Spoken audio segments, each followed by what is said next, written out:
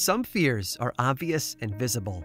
A dark, cobweb covered basement, an old axe propped up in the corner of the garage with something red along its edge, maybe rust, or maybe something else. Many fears, you see, can be documented, even photographed, but others can't. Some fears are like the wind. The only proof it exists is in the way it affects other things. That cool feeling on your skin, the way the leaves in the trees sway back and forth. And just like the wind, there are fears that we can only point out, thanks to their effects. One of the best places to feel that breeze, so to speak, is Hollywood. The stories that entertain us the most seem to tap into the deep, unseen fears that we all struggle with. It's like touching the tip of your tongue to a 9 volt battery. You hate the sensation, but there's something disturbingly attractive about it as well. One of the biggest themes to come out of Hollywood over the past few decades, by far, has been one of isolation, loss, and disaster. Films like I Am Legend and Alien dip into this pool, as do small screen shows like The Walking Dead and Battlestar Galactica. We're obsessed with the idea. We fear it, but we also love it because the questions feel important. What would happen if humanity were reduced to a tiny population, left on the brink of extinction and fighting for survival? In what ways would our civilization hold strong, and where would it crack? Could we rediscover order, or would chaos consume us all? You would think that this would be an impossible concept to understand firsthand, that human dignity and ethics would prevent us from testing it out to find the true answers. Then again, real life is rarely ethical, and thanks to the events that took place on a small island in the Pacific just a century ago, we have answers. The odds are, though, you aren't going to like them. I'm Aaron Mahnke, and this is Lore.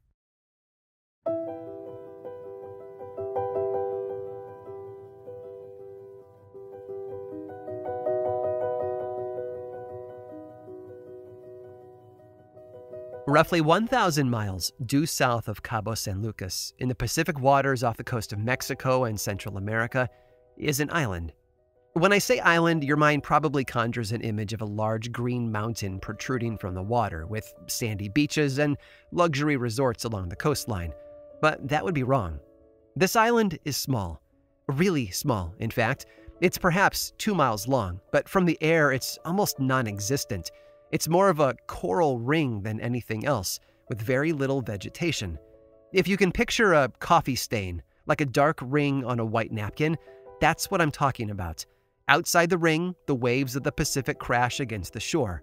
Inside, though, is the freshwater lagoon. It's not deep, but it is drinkable. The first European to stumble upon it, as far as historians can tell, was a man named John Clipperton, in the first two decades of the 1700s, he operated as a privateer, a pirate for hire, serving the British crown in its effort to hinder Spanish expansion into Central America and Mexico. Due to the tiny island's proximity to the western coast of Guatemala and Mexico, Clipperton set up a base there. But for as tiny as the island is, it offered a surprising amount of space for Clipperton. The highest point is a mere 95 feet above the ocean waves, but he found a number of serviceable caves, which he had his men expand for storage and defense. But his time there was short lived.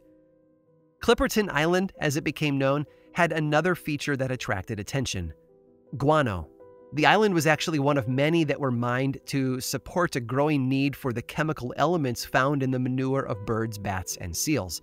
This guano would primarily be used to manufacture gunpowder and fertilizer, two products that growing nations lusted after. Because of this, the island exchanged hands a number of times through the middle of the 19th century. For a while, Mexico claimed ownership. But in 1856, the American government passed the Guano Islands Act, making it legal for U.S. citizens to claim guano rich islands no matter where they were located, as long as they were uninhabited and unclaimed by another country. By the late 1800s, Napoleon sent French troops to annex the island. They found a small group of American guano miners there and forced them out. Mexico wasn't too happy about the French claim, though, and they argued about it for years.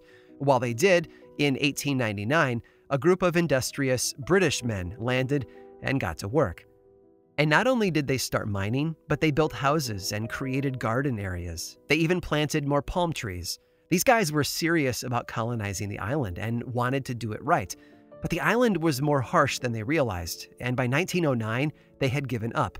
All but one of the Englishmen abandoned the island and headed home. And that's when Mexico got serious.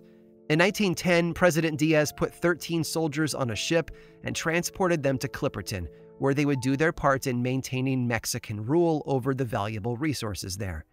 Thankfully, when they arrived, they found the homes and buildings that the British had constructed, empty and waiting for them.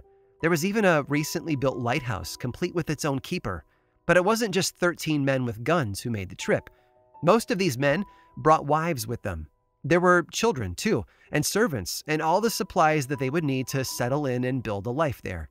Sure, no one had been able to make a go of it so far. Sure, the island was nearly inhospitable. And sure, it was expensive and difficult to transport supplies to them. But they were determined.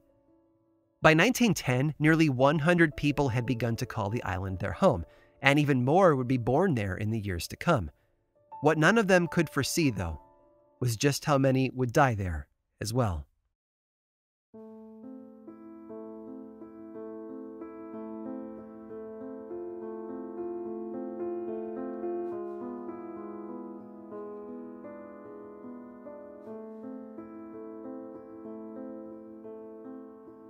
One of those 13 soldiers was a man named Ramon Arnaud. He was a 33 year old military officer with a checkered past. Within months of his enlistment years before, he deserted his post. It resulted in him spending over five months in a military prison, and then a series of unappealing command assignments. Clipperton Island was, to him, just one more piece of that punishment, whether or not it came with the title of governor. Children were born in those first few years. Governor Arnaud and his wife Alicia welcomed their first child, Ramon Jr., in 1910, and two more followed over the next three years. During that time, life was a dull rhythm of island life and the occasional resupply ship. But that was all about to change. Sometime in 1914, the supply ships from Acapulco stopped coming. With a frequency of every two months, it was probably hard to tell if the ship was just late or if plans had changed. I imagine everyone on the island watched the horizon daily for a sign of help. Without that ship, they were essentially stranded, and every day that ticked by was another attack against their dwindling supply of hope. In late summer of 1914, a ship did show up, but this one was American. It brought supplies, but its real mission was to pick up the last remaining member of the British mining crew, who had stayed behind five years earlier. While there, the ship's captain informed Governor Arnaud of the situation back home. Not only had Mexico erupted into revolution, but the world was now at war following the assassination of Archduke Franz Ferdinand of Austria. They'd seen nothing like it, and he had no idea if or when it would stop. Perhaps, he suggested, Arnaud and his community would like to come home, just to be safe. But Arnaud declined, and the community soon watched the Americans vanish over the horizon. By 1915, though, that decision was beginning to feel flawed. The vegetable garden that the British had installed had started to fall apart. The only naturally occurring food on the island was a small supply of coconuts and whatever fish and birds they could hunt. But what those foods lacked was vitamin C, and so by late 1915, many on the island had scurvy. We tend to treat scurvy lightly, making pirate jokes about it when we're out with friends, but the reality of the disease is more horrible. The symptoms begin with bleeding gums and sore spots, and eventually grow into depression, immobility, and open wounds. In the end, someone suffering from scurvy simply bleeds to death, and without vitamin C, those around them can only helplessly watch it all end.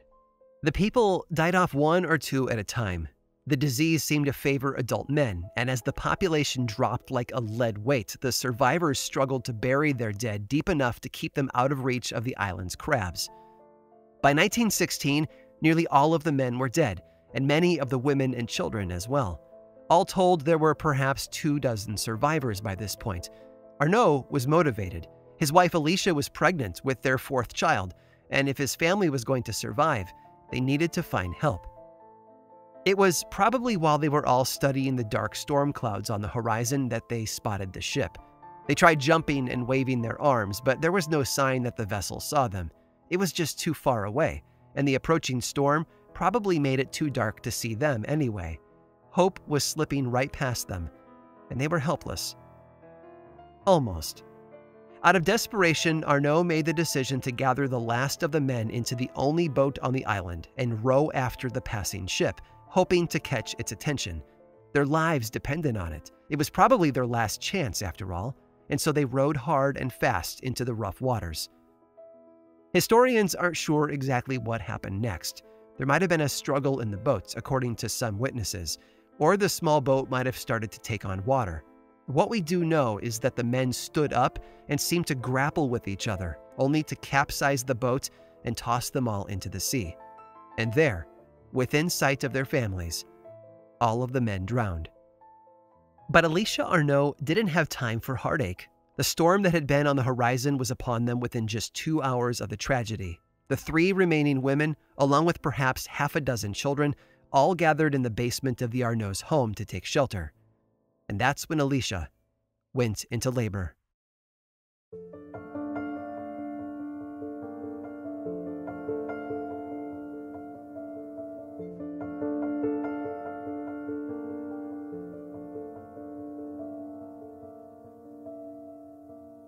She named her new son Angel, and he was the last good news they would experience for years. When the women stepped out of the basement the following morning, the rest of the house was gone. The storm had destroyed everything, it seems. All of the homes, the remnants of the garden, even some of the palm trees were gone. But something new was there as well. Someone, actually, the reclusive lighthouse keeper, Victoriano Alvarez. They knew that he had been there, of course, but he had been seen so infrequently that most of them had forgotten about him. He's described by historians as mentally unstable, and a lack of social skills had driven him to hide in the lighthouse from the others for years. How he got supplies, though, I have no clue.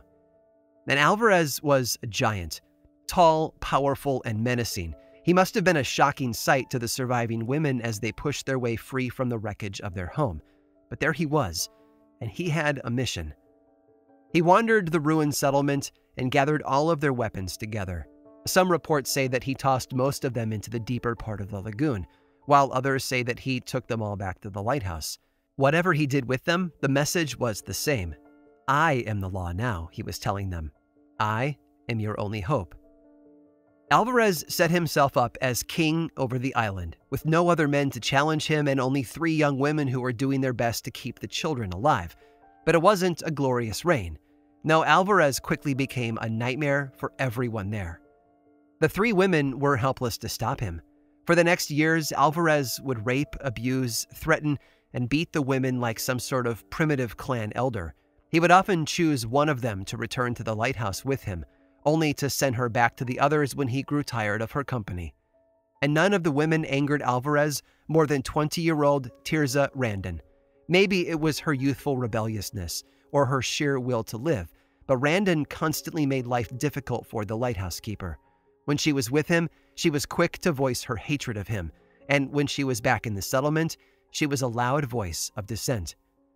They needed to find a way to escape, but without a visiting ship, that seemed hopeless.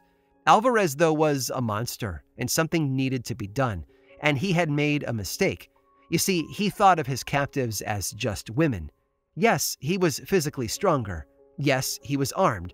And yes, he seemed to be in control. But Alicia and the others weren't just women.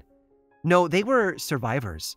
They were human beings fighting for their dignity and safety, and they were powerful in their own ways. So when Alvarez walked into their collection of primitive shelters in July of 1917 and demanded that Alicia Arnaud be the next to report to his lighthouse, they saw their chance. Arnaud and Randon both walked up to the lighthouse the next morning, with Ramon Jr., now seven, following close behind. When they arrived, Alvarez was outside cooking a bird he had managed to capture, it must have been a rare catch, as the women later described how he was smiling. But that smile melted away as he saw Randon approaching. There was an argument. Alvarez wanted to know why Alicia had brought the other woman, and while the giant of a man was busy shouting about it at Arnaud, the other woman slipped silently into the lighthouse. When Randon stepped back out through the doorway, Alicia gave her a tiny nod. Alvarez saw this, though, and turned to see what was behind him, but it was too late. Later, all three women were standing in their settlement on top of a small hill that was crisscrossed by the overgrown paths used by the mining companies years before. And it was at that moment that they saw the rowboat. It was a whaler launched from an American gunship called the Yorktown, anchored farther out at sea. It was a Lieutenant Kerr who landed on the beach, and after speaking with the women, he brought all of the survivors back to the ship with him. There, they were presented to the commander of the gunship, a man named H.P. Perrill, who listened to their story with deep interest. They told him of their ordeal during the past three years and of the maniacal lighthouse keeper who had held them captive through force and violence. Where is he now? Commander Perrill asked. Dead, Alicia told him, and then added as if it helped to clarify the matter. From scurvy.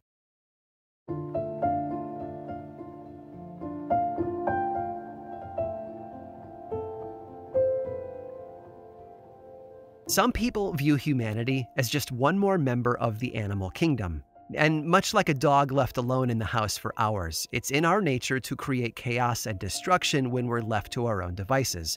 We need rules and boundaries, these people would say, if we are to have any hope of maintaining order and civilization. Others, though, disagree.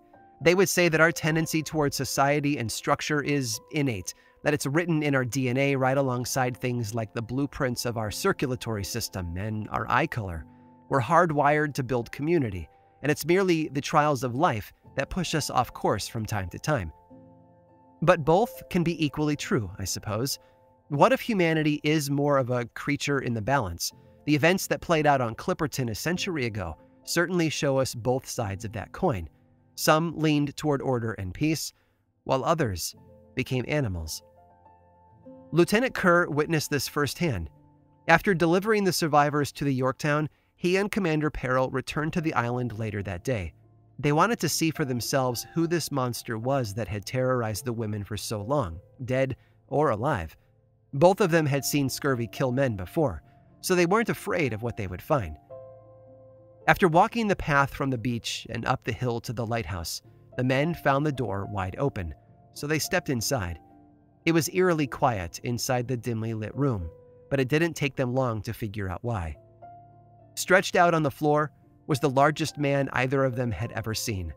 Blood had pooled around the body, filling in low spots in the stone floor, but their eyes were drawn away toward an area of the floor beyond the man's shoulders. Two objects had been tossed there a knife and a hammer. Both were small, easy weapons for a malnourished woman to hold and swing, and both were covered in blood. The two Americans looked at each other from across the body of the king of Clipperton Island, but neither of them said a word. They knew what had happened, what had really brought an end to the man on the floor, but neither wanted to remark upon it. With a nod, they turned and left the building. The survivors were safe, and that was all that mattered to them the island could keep its king. Alicia Arnaud would tell us that some people truly are monsters deep in their core. Alvarez certainly was one. But she also advocated a very risky balance, a wagering of her soul in the pursuit of freedom. Because sometimes, even if only in the rarest of circumstances, we have to become the monster in order to defeat it, and then hope that we can change back.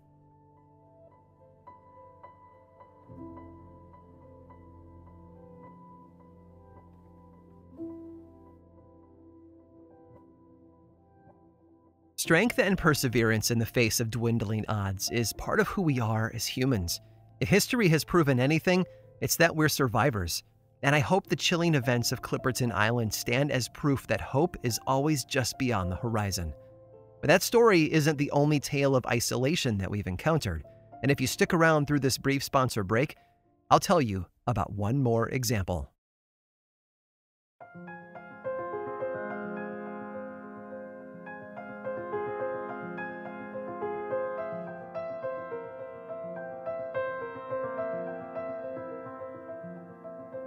Alicia Arnaud and her compatriots fought for their survival tooth and nail against a dwindling food supply, harsh elements, and an even harsher lighthouse keeper. But they weren't the first to survive on an island. Because over 360 years before them, there was Marguerite de la Roque. Marguerite had been born to French nobility in 1515 and grew up without a care in the world. What she did have, though, was a large amount of land in southern France, as well as several parcels that she owned with her cousin, Jean Francois du Roberval. Roberval was an opportunist, working his way up among the creme of French society. He had even been childhood friends with King Francis I, who appointed him Lieutenant General of New France on the other side of the Atlantic. If you used modern boundaries as a starting point, New France was a large swath of North America under French control that stretched all the way from the top of Canada down to the state of Louisiana. And with his new designation as Lieutenant General, Roberval set sail for New France with a fleet of three ships carrying supplies, livestock, and hundreds of colonists. He himself was on board a ship called the Valentine, and his cousin Marguerite had hitched along for the ride with her maidservant Damienne. What possessed Marguerite to leave her posh life back home? Perhaps she was running away from something, or maybe she was looking to start a new chapter where nobody knew her. Or maybe there was someone in her life she didn't want anyone knowing about. Some stories say that Marguerite smuggled a secret lover onto the ship under her cousin's nose. Others claim that he'd been on board already and that she had fallen for him during the trip. How appropriate they had been sailing aboard the Valentine when their love happened. But ships, no matter how big they are, are still small enough for secrets to spread, and it was only a matter of time before Roberval discovered that his cousin had taken a lover out of wedlock. Angry at her disobedience of his strict Calvinist values, he chose to finish the journey without them. His decision was also helped by the fact that he would have full access to the lands that she partially owned and the money that would flow into his pockets with her out of the picture. Roberval abandoned Marguerite her lover, and Damienne on a small deserted island near Canada. At least, that's one version of what transpired. Another suggests that her lover was placed in chains and kept on board, awaiting punishment in New France, while only Marguerite and Damienne were kicked off the ship. The lover, not wanting to be without her, nor face what awaited him in the new land, broke free and jumped overboard as the Valentine was sailing away. Whatever the case, the three of them were left to spend the rest of their days on a little corner of the sea known as the Isle of Demons. Legends claimed that the island was haunted by actual demons and that the beasts that lived there would attack passing ships and kill sailors. But Roberval hadn't been entirely cruel. He had left them with just enough to survive a little food, some supplies, a few guns with ammo, and of course, a Bible. The three castaways sought shelter in the caves on the island, but it was also believed that they built a small cabin to live in as well. Before long, though, things got more complicated because Marguerite became pregnant and the food supply was running low. With their provisions running out, the three survivors were forced to eat plant roots and drink brackish water to get by.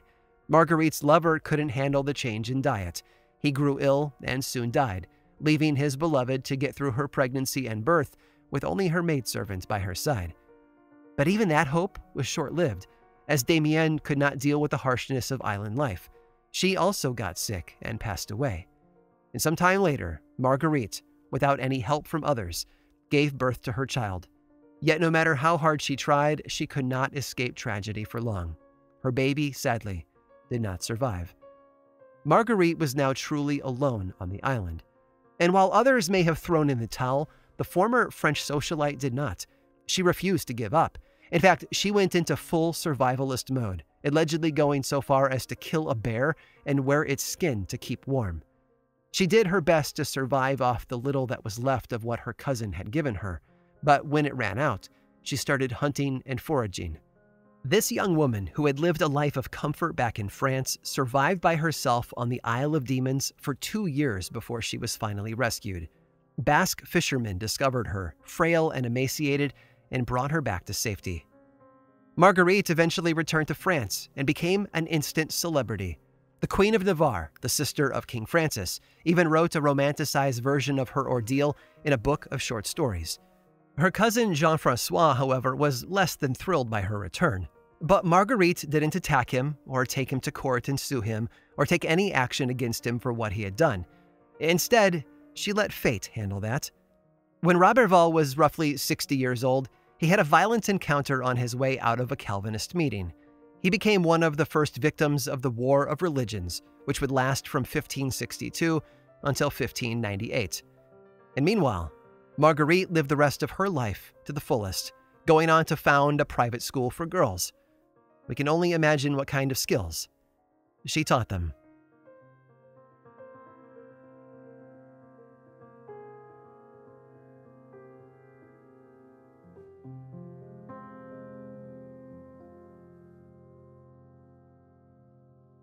This episode of Lore was researched, written, and produced by me, Aaron Mahnke, with additional help from GennaRose Nethercott and Harry Marks, and music by Chad Lawson.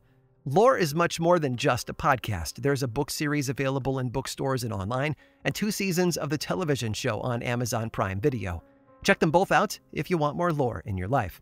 I also make and executive produce a whole bunch of other podcasts, all of which I think you'd enjoy. My production company, Grim and Mild, specializes in shows that sit at the intersection of the dark and the historical. You can learn more about all of our shows and everything else going on over in one central place, grimandmild.com. And you can also follow this show on Twitter, Facebook, and Instagram. Just search for Lore Podcast, all one word, and then click that follow button. And when you do, say hi. I like it when people say hi. And as always, thanks for listening.